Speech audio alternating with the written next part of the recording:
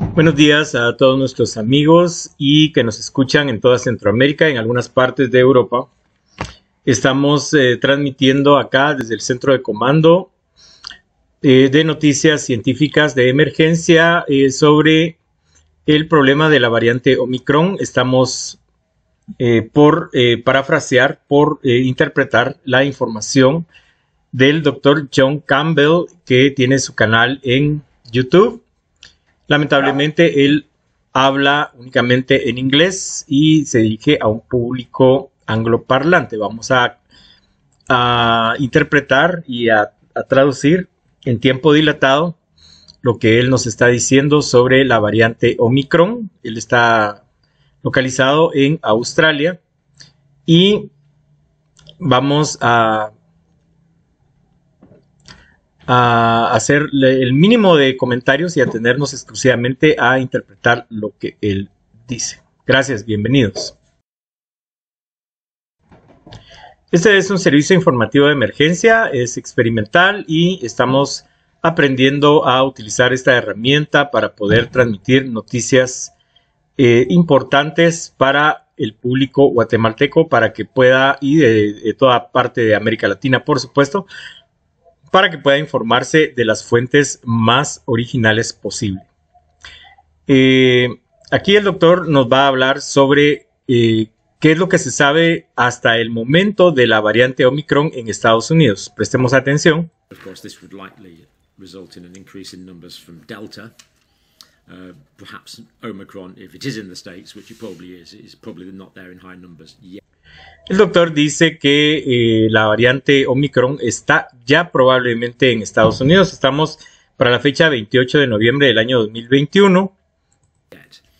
Because I think the balance of probability is that this did arise in, uh, in Africa. I think that's the, the overwhelming balance of, of judgment at the moment.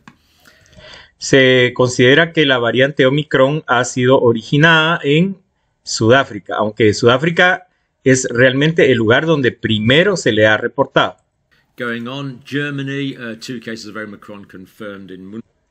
En Alemania se han confirmado dos casos de Omicron en la ciudad de Múnich. Um, Entró a Múnich en el aeropuerto el 24 de noviembre, estamos hablando de hace cuatro días. Public uh, confirms first Omicron case in a woman from Namibia. So again. En la República Checa se confirma la, el primer caso de Omicron en la ciudad de Liberec, una, una señora que ha sido ha visitado la ciudad de el país de Namibia.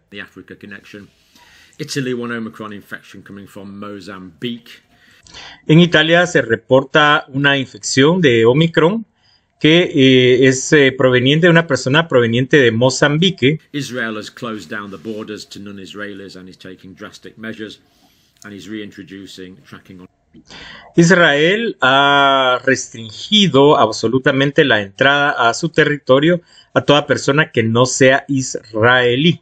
Mobile phones. I'm just hoping the Israelis don't know something that we uh, know something that we don't.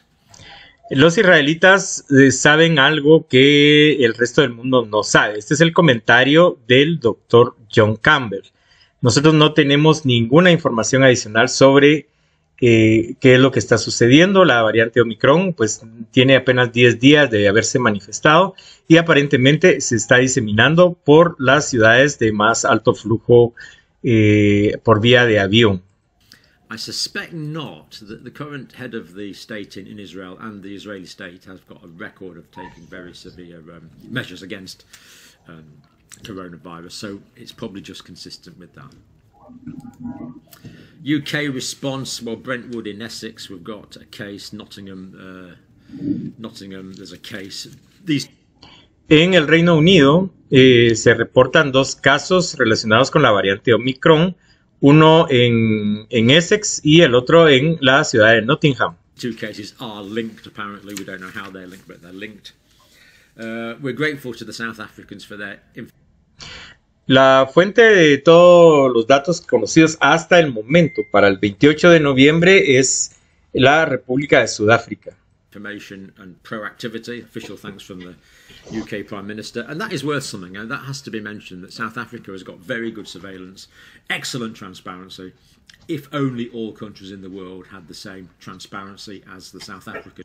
El doctor eh, menciona que eh, méritos de la información proveniente de Sudáfrica es que Sudáfrica es un país con mucha transparencia informativa. Science does so. Congratulations, South Africa. They also have excellent um, data gathering facilities, so they will have definitive answers on this. También los sudafricanos tienen muy buenas instalaciones para eh, recopilar información, es decir, la, eh, los estudios estadísticos allá están muy bien soportados por la infraestructura y organización. Soon, within about two weeks, and I would predict that South Africa is going to be the first country in the world to give definitive information on how much more transmission. El doctor piensa que en el plazo de 15 días, estamos hablando de mediados del mes de diciembre del año 2021, eh, ya Sudáfrica va a emitir las primeras informaciones confiables acerca de esta variante Omicron. How much more pathogenic Omicron is. That's where the information is going to come from, first of all.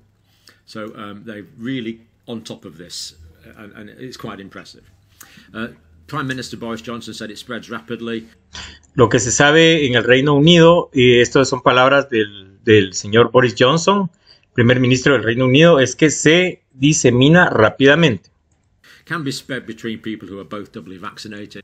Se puede eh, encontrar en personas que tienen el doble esquema de vacunación, quiere decir que personas con esquema completo de vacunación pueden presentar la variante Omicron.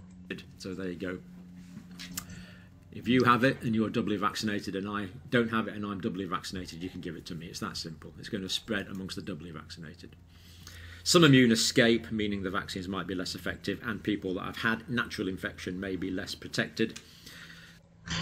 Eh, se considera que las personas que tienen inmunidad natural debido a haberse infectado con el coronavirus previamente, eh, posiblemente no puedan tener toda, toda la, eh, la, la chance de, de resistir a este tipo de infección. We need to slow down the seeding, so the UK is being seeded and it will inevitably grow. It seems to me quite inevitable, what I know already, that the Omicron is going to displace the Delta as the global pandemic. El doctor considera que eh, la, la Omicron, la variante Omicron, va a desplazar a la, a la Delta como la fuente o de principal de la pandemia de coronavirus. So I'm afraid it looks likely that I'm going to be exposed to Omicron. You're going to be exposed to Omicron. Él dice que eh, toda la población va a estar expuesta a la, a la variante Omicron en el futuro cercano. The, the, question is when we want to be as ready as possible. And remember, it's winter now. Let me just show you out my winter window. Uh, you can actually see it's snowing here. Um, uh, no um, ultraviolet B to speak of in the sun today. So I Eh, creo que el doctor está localizado no en Australia, sino en el Reino Unido, así que él nos está mostrando su paisaje invernal. I've increased my intake of vitamin D. Y ahí está él diciendo, pues, de que eh, él, él, está tomando la vitamina D y esto, pues, él lo, como médico lo recomienda, pero recordemos todos que la vitamina D no es efectiva si uno ya está infectado, porque la vitamina D eh, lleva una, eh, un tiempo aproximadamente un poquito más de una semana para poder ser absorbida por el cuerpo. Así que la vitamina D debería ser eh, ide idealmente incorporada a la dieta de las personas en forma diaria. Uh, I think it's important that we optimize our immune systems, sometimes with extra vitamin, uh, sometimes with vitamin K2 as well. But También recomienda él la vitamina K. I've personally increased my intake of vitamin uh, D because I'm simply not making any. And I want to optimize my immune system for when I believe I'm going to be exposed to the Omicron variant. And I want everyone in the world to have an optimized immune system. So do consider your nutritional and vitamin D status, please. Así que el doctor recomienda que revisemos todos nuestro estado eh, de nuestros niveles de vitamina D y vitamina K en la medida de lo que sea posible. Suplementos alimenticios es lo que, eh, vitamínicos es lo que él recomienda, siempre bajo orientación o, guía médica, por supuesto, porque todo componente o, suplemento nutricional pues eh, puede eh, reportar algunos riesgos en algunos organismos. Um, Prime Minister saying time for time for vaccinations and boosters, so encouraging vaccination.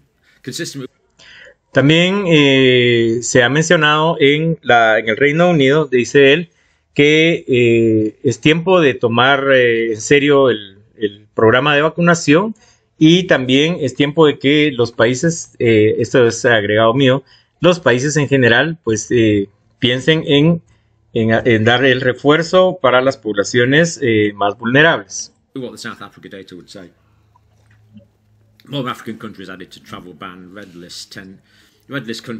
Eh, los países africanos están siendo sometidos a un, a un estricto control de, desplazamiento hacia, hacia Europa, hacia los países más importantes de Europa por el momento. Es decir, que se han emitido restricciones de vuelos eh, hacia personas que provienen de África.